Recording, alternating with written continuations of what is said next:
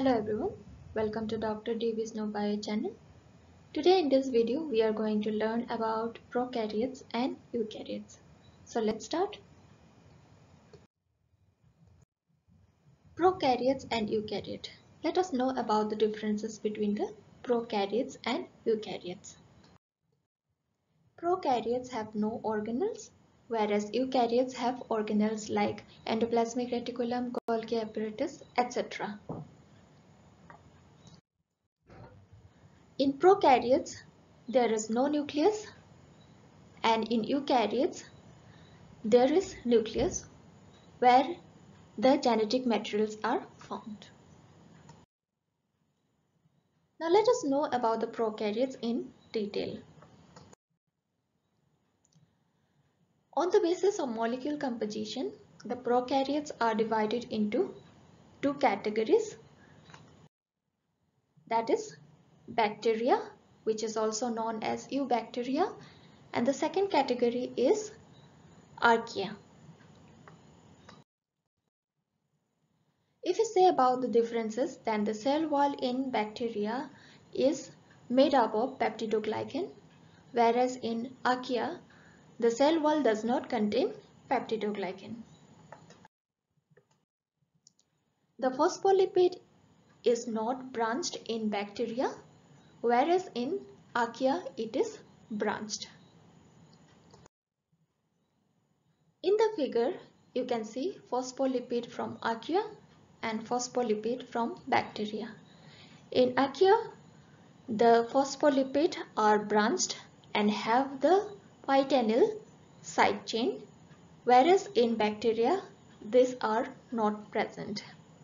Again if we see about the phospholipid then the phospholipid in bacteria is bilayer and in archaea it is monolayer.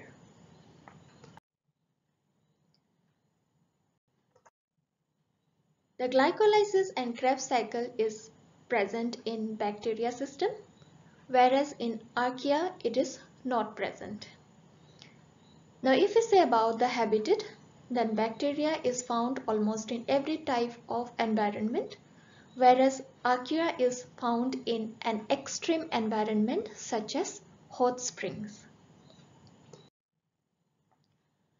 Now let us know about the eukaryotes. Eukaryotes on the basis of cell organization are divided into two categories. Single-celled organism where the single cell act as an individual, function as an individual. The second is multicellular organism where cluster of cell togetherly act as an organism. Now in single cell organism, protists are there. So the examples for protists are amoeba, euglena, paramecium. These are single-celled organisms. The second category under single-cell organism are fungi. Examples are yeast, molds, and smuts. These all are also single-celled organism. In multicellular organisms, again there are two categories. The number one is animal, where the human beings are included along with all the animal kingdom. Secondly, plant kingdom includes herbs, shrubs, trees, climbers and creepers. So these are the differences between the prokaryotes and eukaryotes. So now let us know about the similarities between the cells. All living things are fundamentally similar inside. All cells are composed of the same sorts of molecules that participate in the same type of chemical reactions. They have same chemical code, same chemical building blocks, same chemical machinery which help in replication of the cell and same way or pattern of duplication. So these are the similarities about the cells as a whole.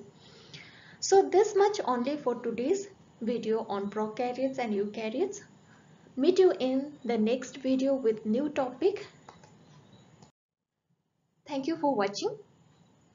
Please do like, share and comment and do not forget to subscribe. Thank you. Bye-bye.